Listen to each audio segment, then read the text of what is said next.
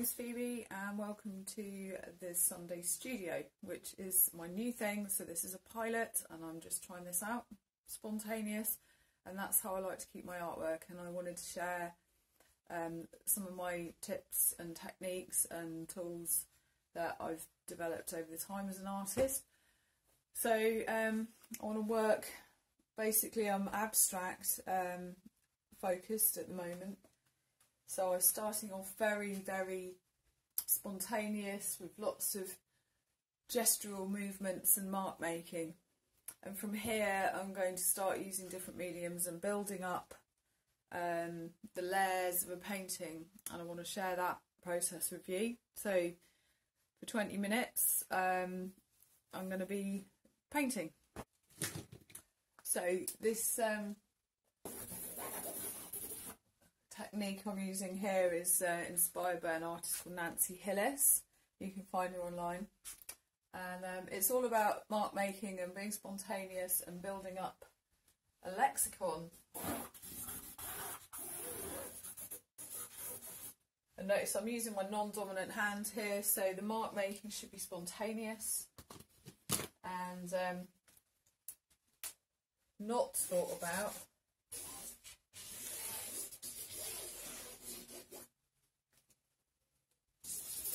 So we're really trying to bypass the um, the rational brain when we do this form of painting, but it's a way of um, avoiding getting caught up in worrying about what we're going to do. So, right, I'm going to go in with some painting. So I'm using this abstract paint, which comes in a container that is pliable, and um, I'm just squeezing it out. So this is pretty good stuff by Sennelier.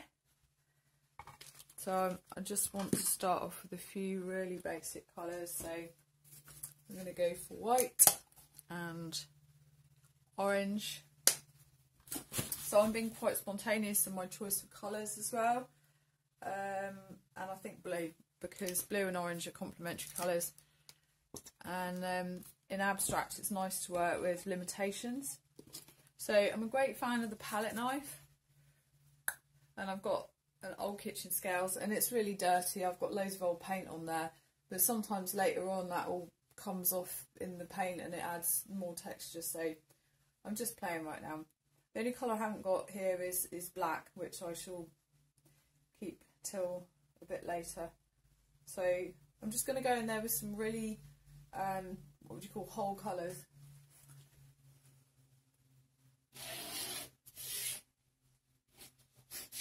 So I'm following this line I made earlier, which was really spontaneous.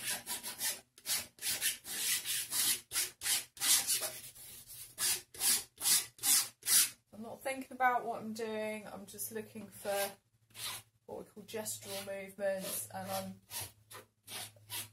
finding shapes within what I've already created here. So I quite like this blockiness. I'm just going to stick with this.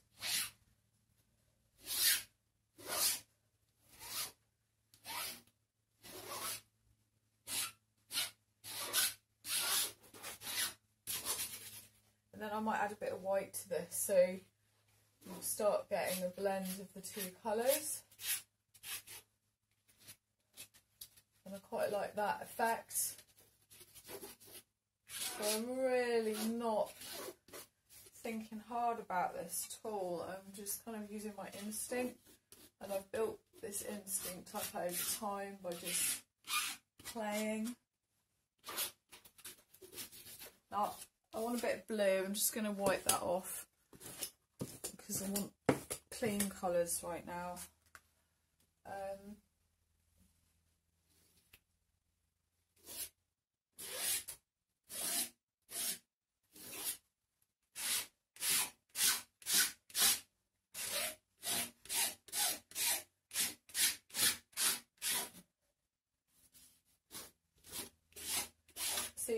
scraping the paint off as I go so you can see the under um, the under squibbles and um, that's what gives it its interesting texture. Now I see another blue shape wanting to go in there. So I don't want to mix these two because th this will just make a, a, a lovely mud. But I can mix the blue with the white hair. So there is a tiny little bit. So now you can see that's starting to pigment and change. There's an element of green coming through now because I have a tiny bit of orange in the white palette. It's a real mess. But um, I, I tend to get messier as I go and I try and use all the paint that I've got but it doesn't always work. But the key is to get nice kind of pure colour, ch chunky shapes with just a little bit of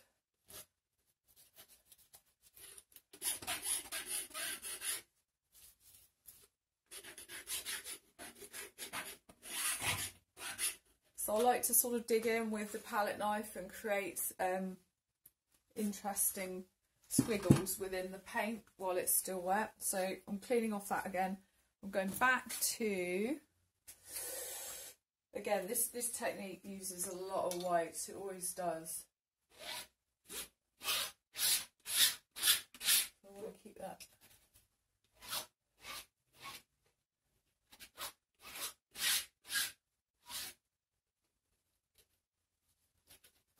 nice and pale. Maybe a bit more orange. I can feel other colours like red wanting to happen, but um, I can't really risk putting red in there. That's going to create all sorts of dynamic problems. I think what will happen next, I will have to put a lot more white in because I want to cover up the canvas with these this limited palette. I don't want to go dark just yet, so the darkest colour I'm working with is the blue. Now I'm white. This is why it's really good to have, um, you need a lot of white paint when you're doing this sort of work, because you might even just be using the texture of the paint. Um, done with the lid? Um, anyway, never mind. So I've got more white paint I've still got a bit of orange I want to use, but I'm going to mix it now. So I'm just, I'm just mixing. Ah, and the, the paint underneath is starting to come off. So this is what's going to give me a little bit of extra. And sometimes I want to follow the line, and you know what? I'm going to dive in there with the blue right here and now we're starting to mix it up a bit so that's creating a nice sort of um, green there coming through and again white. Brighten that up. That shape. See this right so I'm trying to create texture as I go.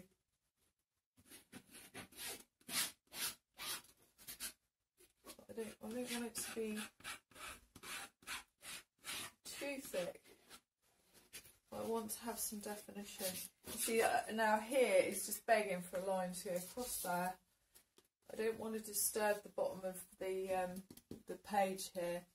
You can see that. Let me just pop that down a little bit.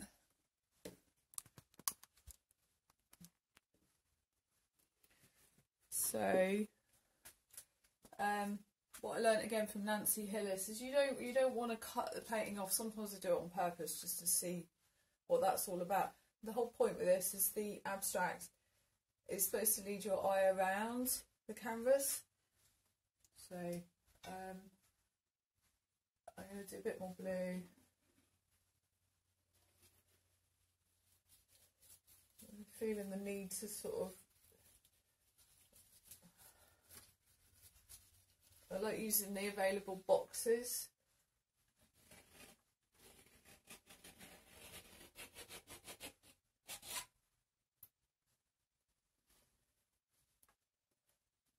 We'll put one on that side so then that's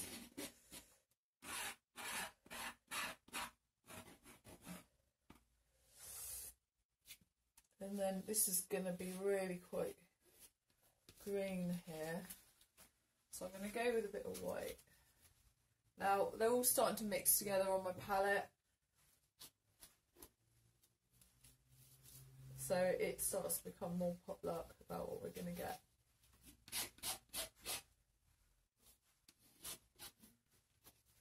An aqua now. It's really nice. So basically, th this is the the potential of just three colours if you get them right. So the orange and the the blue being complementary opposites. This just shows the power of blending um, with the white. And I haven't even gone in with the black yet. There's no dark tone in here. The blue is the darkest we're going to get. So again, I'm still looking for shapes to fill. And sort of creating these structures. I want to go dark there to sort of highlight that.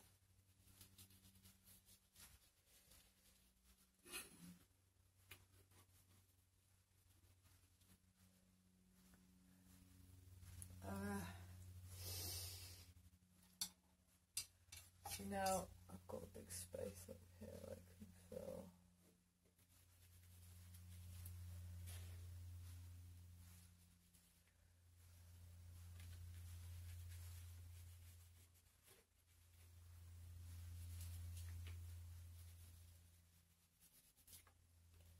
So I'm trying. I'm getting specific there with that particular shape. Is sort of. Um, oh, I'm loving this. This is like.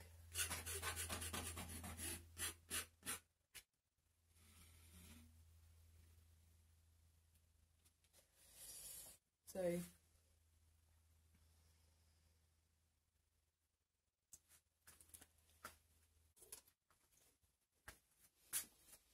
Okay, so you can see I'm starting to build it up now. Okay. Okay, my next move now is to start adding some dark tones. So I've got some white paint left. I'm just going to add a little squidge of black because it won't take much. And then I'm going to go into some of these spaces. I want to make that right there completely black.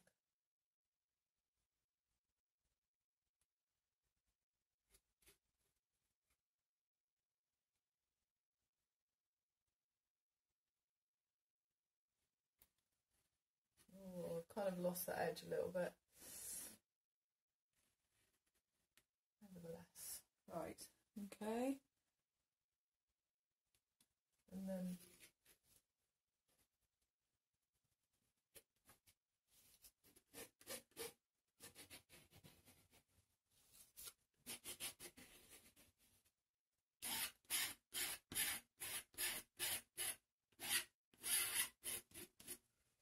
Um, and I'm going to offload a little bit out there.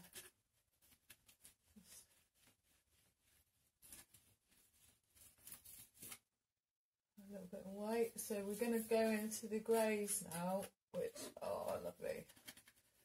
So you get that sort of thundery feel. I need to move this around a little bit. Okay. So now we're starting to get some tonality. And I'm going to go again in with the black and it's going here. Right. Now I'm going to again clean palette knife. Um, the palette can stay messy. It's a great lovely mess of paint here but you can see, look at that. So yeah, I'm really mixing it up now, um, and we've got a few spaces left to fill. I'm feeling the black and the white, so we're going to make a nice grey. It's all starting to dry out and get quite wobbly now, so I'm going to go in there like that. Try and keep the integrity of these shapes now. And maybe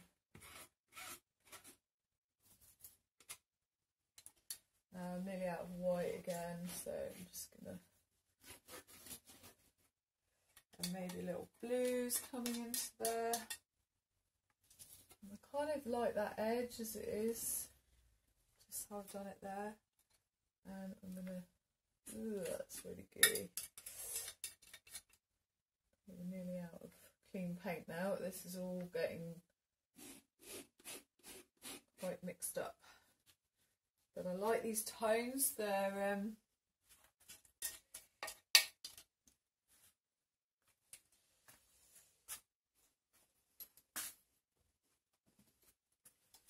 kind of uh,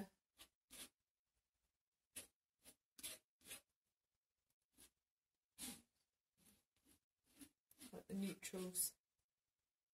Yeah.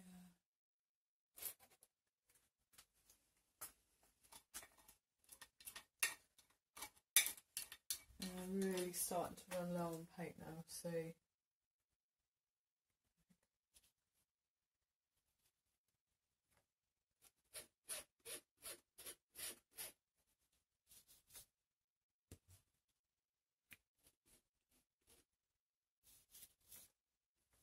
Mm, it's lovely kind of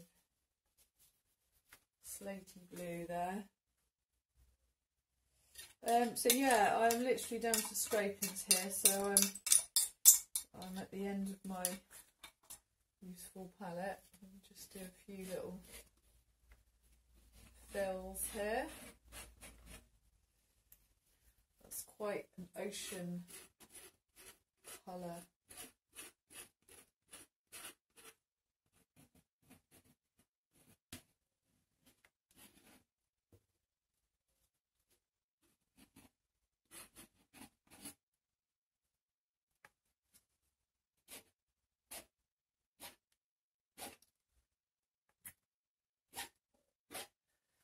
So it goes. So that's how I build up a piece of abstract art.